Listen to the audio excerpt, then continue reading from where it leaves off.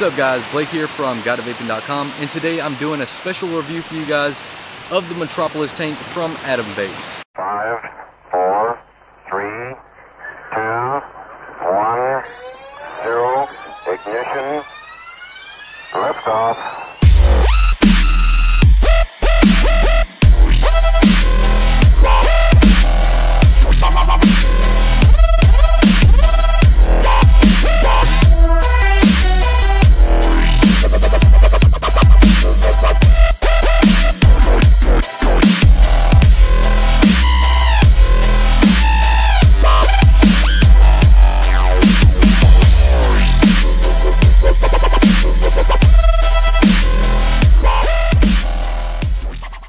As you guys can see, I've taken you onto the beach with me. And the reason why I have is because I think this tank deserves something more than my normal reviews. The reason why I say that is because finally, I found a tank that beat my beloved Top Tank Mini. You see, for me, it's not about brand name, it's quality and performance. And even though we talked about how much we love Kanger, at the end of the day, the only thing we care about is the quality and the way it performs as well as the price. The reason why I love my Top Tank Mini so much is because it performs great. It wicks consistently. It's got just the right amount of airflow and you have to admit the appearance looks good as well. And guys with this Metropolis tank from Atom Vapes it beats all of that. It obviously has the good looks, it has the performance, the quality is certainly there, and the price is spot on. So without any further ado guys, let's dive down and take a closer look at this beautiful very beautiful Metropolis tank from Atom Vapes. All right guys, so you are looking at the packaging for the Metropolis tank by Atom Vapes. As you can see, we have the Metropolis tank here, and then we have the Metropolis name. On one side, you can see that we have a bit of information. and the other side, we have the tank again and the Metropolis name once again.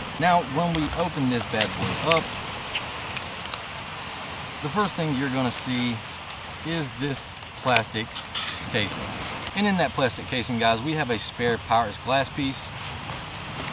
We have the Metropolis tank itself, and then we also have some extra O-rings that's included. Now, if you look in that Metropolis box, we also have a Metropolis guide. All right, guys, and now you are looking at the actual Metropolis tank. As you guys can see, it uses this rubber ring that says Atom on it. And let me be the first to tell you, this rubber ring is annoying because it just adjust the airflow too easy. And you also can see that it uses this Pyrex glass, which is a bell cap. It has a 4 mil e-liquid capacity, and then it also has this wide bore drip tip here at the top. Now this tank is bottom fill only, so once you unscrew it like so, you'll be able to fill from there, and here is your G Clapton coil. As you can see, it's going to wick consistently because it's got those big juice holes and this coil is the G Clapton coil so it is Clapton wire and again you can also see that it's a 0.5 ohm coil which allows you to range from 25 to 45 watts. And this coil is 24 karat gold. And that's about it for the Metropolis tank guys. This thing is an absolute beauty Alright guys, so you just got a close-up look at the Metropolis tank from Atom Vapes, and you've got to admit this tank is one badass looking tank. And not only does it look good, but it also performs just as well.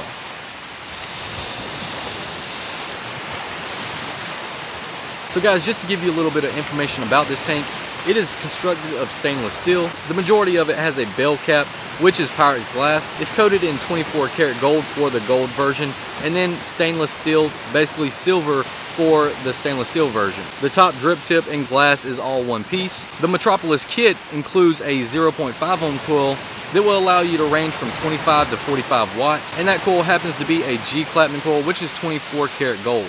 But the great thing about this tank that gets me so excited is that it allows you to use the 0.5 ohm OCC square coils. And as you guys know, I'm all about those square coils. I think they just wick consistently. And even though I do like those 0.5 ohm G Clapton coils from Atom Vapes, I prefer to use these square coils just as I have with all my other tanks. Now the Metropolis tank has a dual airflow. It's much like the Subtank Mini. However, the only differences here is how you actually adjust your airflow, the appearance, and also that the Metropolis uses a bell cap. Another great thing about this tank is that it has a 4 mil e-liquid capacity and the drip tip has a wide bore, which means you won't be burning your lips, but you'll also get a good vapor production. Now, the only thing that I can say bad about this tank is the airflow. Even though the airflow is good, it's the airflow ring that really fucks this deal up. The airflow ring is made of rubber for some reason, and it slides very easily. Like right now, if you just look real close, you can see I'm just turning that with ease. So if you just accidentally bump it, then you're gonna have restricted airflow. So my advice for Atom Vapes is next time when you come out with a version two of this, if you do, then use a metal airflow ring, one that locks in place so we can't accidentally adjust our airflow. So guys, that's about it for this Metropolis tank from Atom Vapes. I got to say, I am in love with this tank. I've been using it while we've been in Destin, Florida with my family, and I've been nothing but pleased.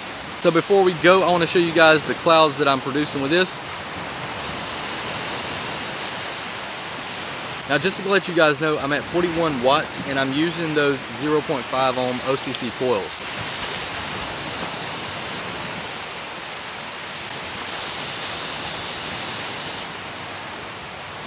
And there you have it guys. Thank you for coming to Destin, Florida with me and my family.